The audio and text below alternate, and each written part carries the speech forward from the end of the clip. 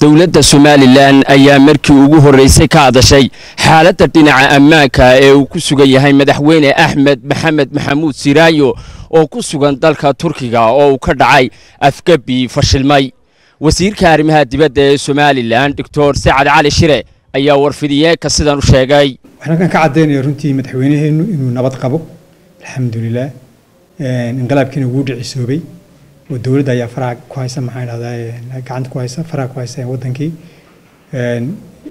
barnaamijkiisiina waxba iskamay bedelin marka runtii waxaan dadkaan yanigaan halkanaan leeyahay ku niyad samaada madaxweyneheenni wuu nabad qabaa waana wanaagsan yahay alxamdulilah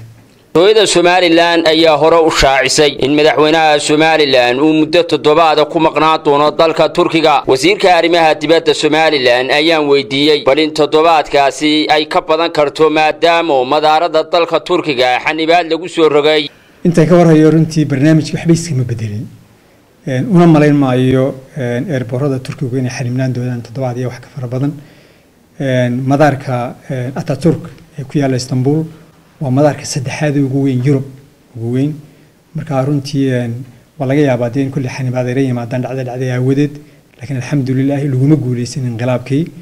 dowladdana gacanta ku haysa eerboorkii marka fili maayo in dubdhac uu ku iman doono soo noqodkii madaxweynaheena somalilan ayaa si kulul u cambaaraysay afgebigaasi qaar ka mid ah ciidamada dalka turkigu dalkooga ka samaynayeen ee fashilmay xalay waxaa la isku dayey